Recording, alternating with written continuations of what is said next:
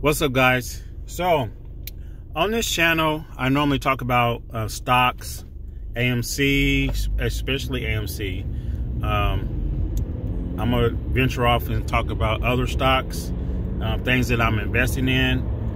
Um, I may talk about some crypto, but I do have a question. Would you guys like for me to add different content to this channel?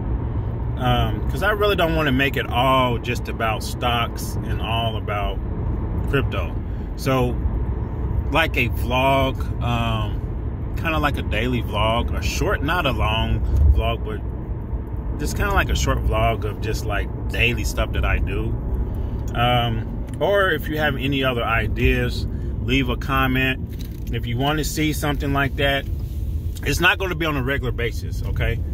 I mean, majority of my content will be about stocks and what I think and answering questions that people um, people leave, answering comments. But every now and then I want to throw in maybe some other type of like vlogs, like think kind of things that I do, simple vlogs, just another form of entertainment instead of having the same thing.